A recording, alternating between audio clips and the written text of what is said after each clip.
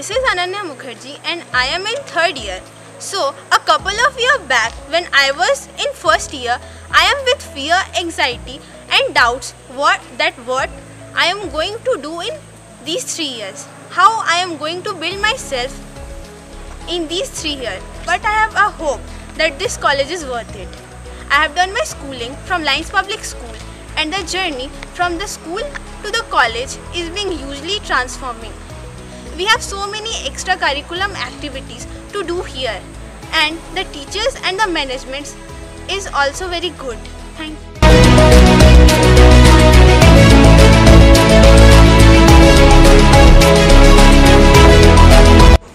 Hello, I am Apurva. I am a fifth semester student of Bundwan Government Polytechnic, currently pursuing diploma in electrical engineering. Speaking about my experience in past two and a half years at this institute, it has really been very pleasant, whether it be in academics or non-academics. The faculty members are very helpful and supportive. They give you that push to excel in your career.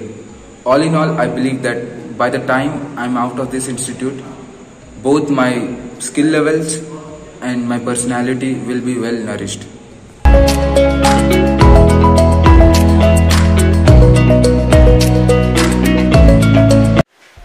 It's glad to represent myself on behalf of Department of Electrical Engineering, Bangalore. First of all, I must say the natural environment around our campus is very good, giving us positive vibes.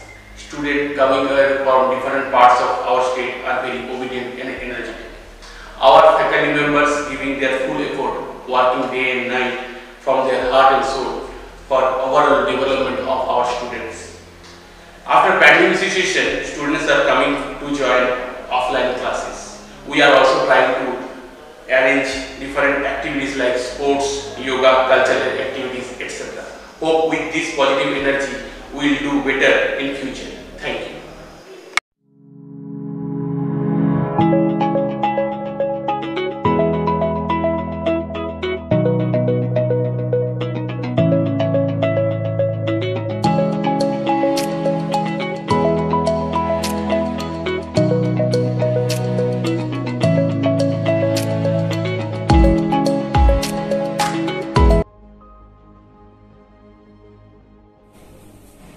I am Lokendra from Training and Placement Officer, Banga Polytechnic. Training and Placement Cell plays an important role of the institute. It helps the student to explore in real life experience after visiting different uh, reputed industries during the uh, course tenure. It helps student to get various job by arrange different types of campusing drives. In this year, about 50% of students get job in reputed companies. Thank you.